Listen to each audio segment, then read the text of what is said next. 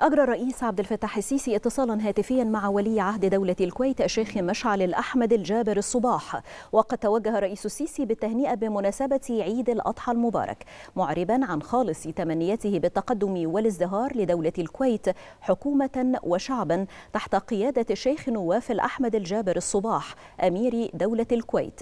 من جانبه أعرب ولي العهد الكويتي عن امتنانه للتهنئة واللفتة الكريمة للرئيس السيسي متمنيا لمصر حكومة وشعبا كل التقدم والازدهار والسلام.